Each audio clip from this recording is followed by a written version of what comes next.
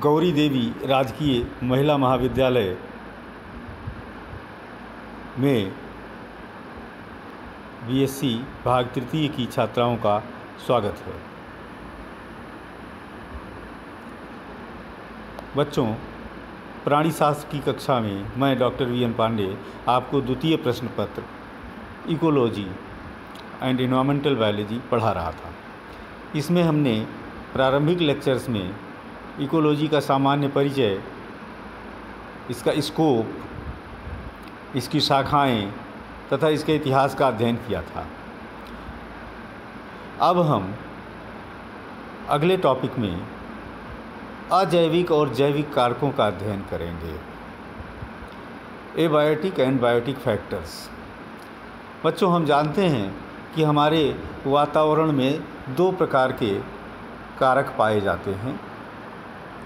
कुछ तो इसमें से जीवित हैं और कुछ अजीवित हैं लिविंग एंड नॉन लिविंग जो नॉन लिविंग फैक्टर्स हैं, उनको एबायोटिक या अजैविक कारक कहते हैं। जो लिविंग हैं, उन्हें बायोटिक या जैविक कारक कहा जाता है। इन्हीं कारकों की परस्पर क्रिया से हमारा इकोसिस्टम या परितंत्र संचालित होता है। देखने में भले लगता हो कि हमारा वातावरण स्थिर है, लेकिन ये वातावरण स्थिर नहीं है। ये अत्यंत गतिशील है, डायनामिक है। प्रत्येक क्षण पौधों में फोटोसिंथेसिस की क्रिया होती रहती है। रेस्पायरेशन की क्रिया सभी पौधों जंतुओं में होती रहती है। विभिन्न जंतुओं पौधों में भोजन की क्रिया, उत्सर्जन की क्रियाएँ, विभिन्न प्रकार की क्रियाएँ निरंतर चलती रहती हैं। और इस तरह से एक गतिशील या डायनामिक परितंत्र बनता है, जिसे इकोसिस्टम कहते हैं। तो हम देखते हैं कि दोनों प्रकार के घटक जो अजैविक हैं और जैविक हैं, उनका क्या स्कोप है? उनमें, उनके क्या, किस प्रकार से वो कार्य करते हैं कि इकोसिस्टम चलता है? सबसे पहले अजैविक कारकों के बारे में बात करते हैं। वातावरण के अजैविक कारकों को दो भागों में बांटा जा सकता है। एक तो क्लाइमेटिक फैक्टर्स जो कि वातावरण से संबंधित हैं। कौन कौन से ये फैक्टर्स हो सकते हैं? एयर अर्थात वायु, तापमान, अर्थात ऊष्मा या गर्मी ह्यूमिडिटी वातावरण में उपस्थित नमी या आर्द्रता, और सूर्य का प्रकाश सनलाइट ये वातावरणीय कारक हैं। इनको क्लाइमेटिक फैक्टर्स कहते हैं। इन्हीं के प्रभाव में विशिष्ट प्रकार का वातावरण उत्पन्न होता है। कहीं पर अधिक सूर्य का प्रकाश है, कहीं कम है, कहीं गर्मी अधिक है, कहीं कम है, कहीं वायु की तीव्रता कम है, कहीं अधिक है। वायु में गैसों का अनुपात भिन्न भिन्न प्रकार से अलग अलग स्थानों पर बन सकता है। तो ये वातावरणीय कारक हैं। दूसरे प्रकार के कारकों को, अजैविक कारकों को, ईडैफिक अर्थात भूमि से जुड़े हुए सॉइल से जुड़े हुए कारक। कौन कौन से हैं देखते हैं? स्वयं मृदा या मिट्टी सबसे बड़ा फैक्टर है। दूसरा बड़ा कारक है जल। तीसरा बड़ा कारक है मिनरल्स खनिज तत्व जो पाए जाते हैं और ग्रेविटेशन गुरुत्व बल जो पृथ्वी में पाया जाता है। ये पृथ्वी से जुड़े हुए कारक हैं। तो आप ये कह सकते हैं कि दो प्रकार के अजैविक कारक हमने लिए, एक वातावरण से जुड़े हुए, वायु से जुड़े हुए, या आसमान से जुड़े हुए, और दूसरा पृथ्वी से जुड़े हुए। ये विभिन्न कारक जो कि वातावरण से जुड़े हुए हैं या पृथ्वी से जुड़े हुए हैं, ये परस्पर क्रिया करते हैं। और इनके क्रिया के क्या परिणाम हो सकते हैं, इनको देखते हैं। इनकी क्रिया से तूफ़ान उत्पन्न हो सकता है। वायु के दबाव में भिन्नता उत्पन्न होने से तूफ़ान, साइक्लोन या चक्रवात, इस प्रकार से स्टॉर्म्स एंड साइक्लोन्स, तूफ़ान और चक्रवात उत्पन्न हो सकते हैं। इन्हीं की विभिन्न प्रकार की क्रियाओं से बरसात हो सकती है रेनफॉल। तो कहीं अधिक रेनफॉल होगा, कहीं कम होगा, कहीं नहीं होगा, इस तरह से विभिन्न प्रकार का वातावरण पृथ्वी पर बनेगा। इन्हीं वातावरणीय कारकों की पारस्परिक क्रिया से। इन्हीं कारकों की क्रिया से पृथ्वी पर विभिन्न प्रकार के भूकंप आ सकते हैं और आते हैं। विभिन्न प्रकार के ज्वालामुखी का बनना और फटना, ये भी इन्हीं कारकों की क्रिया से होता है। इन्हीं कारकों की क्रिया से कहीं पर पानी का तेज़ प्रवाह होता है, वायु का तेज़ प्रवाह होता है और इसके कारण मृदा का अपघटन, सॉइल इरोजन होता है। सॉइल इरोजन से विभिन्न विभिन्न प्रकार की मिट्टी बनती है अलग अलग प्रकार की सॉइल बनती है। स्नोफॉल हो सकता है, कहीं पर बर्फ़ गिरेगी, कहीं नहीं गिरेगी। और इन्हीं के क्रियाशीलता से कहीं पर पहाड़ बन जाएगा, पर्वत, माउंटेन, कहीं झील बनेगा, कहीं नदी बनेगा। अलग अलग प्रकार की भौगोलिक रचनाओं का निर्माण भी ये कारक ही मिल करके करवाते हैं। मिट्टी का पीएच, एल, मिट्टी एल्कलाइन होगा, क्षारीय होगा या अम्लीय होगा, एसिडिक होगा, एल्कलाइन होगा, ये यही फैक्टर्स तय करते हैं।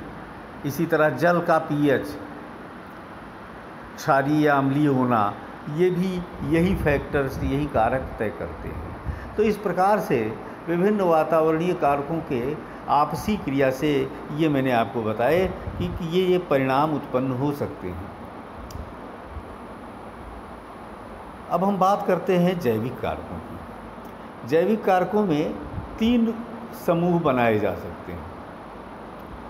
एक तो ऑटोट्रॉप्स जो अपना पोषण स्वयं तैयार करते हैं, अपना भोजन स्वयं बनाते हैं, जिनमें सभी प्लांट्स आ जाएँगे। दूसरा हेटरोट्राफ्स हेटरोट्रॉफ वो हैं जो अपना भोजन स्वयं नहीं तैयार करते हैं।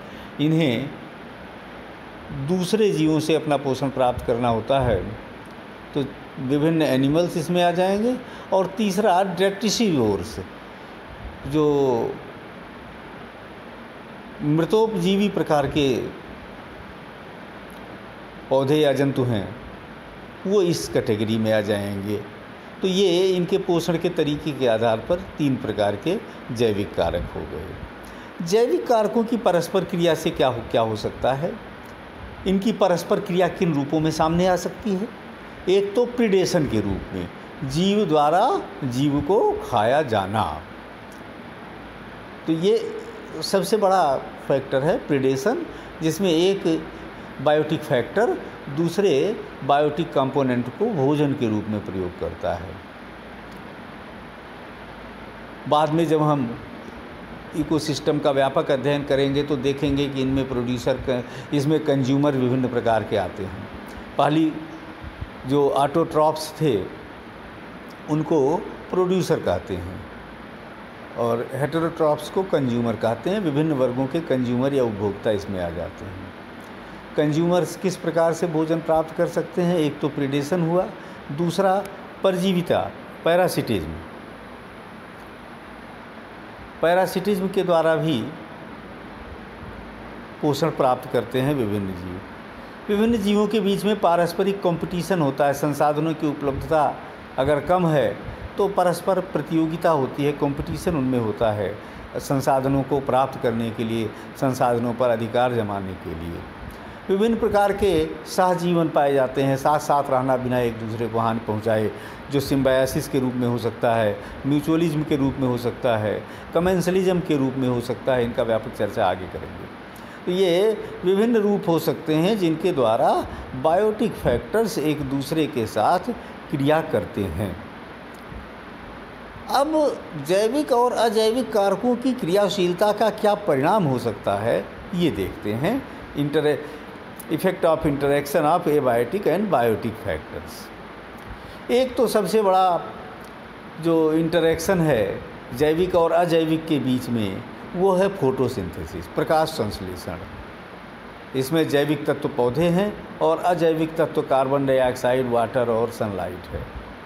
ये परस्पर क्रिया करते हैं, फोटोसिंथेसिस कहलाती है ये क्रिया, और इस क्रिया के परिणाम स्वरूप विभिन्न प्रकार के कार्बनिक तत्व, प्रोटीन्स, कार्बोहाइड्रेट्स, लिपिड्स, कोलेस्ट्रॉल्स, बहुत से प्रकार के कार्बनिक तत्व इस फोटोसिंथेसिस नाम की क्रिया के द्वारा बनते हैं और एक तरह से हम कह सकते हैं कि बायोमास जैव भार उत्पन्न हो सकता है। अजीवित तत्वों को जीवित तत्वों, अजैविक या इनऑर्गेनिक तत्वों को ऑर्गेनिक तत्वों के रूप में बदल दिया जाता है। इसी तरह से कीमोसिंथेसिस विभिन्न प्रकार के बैक्टीरिया आदि कीमो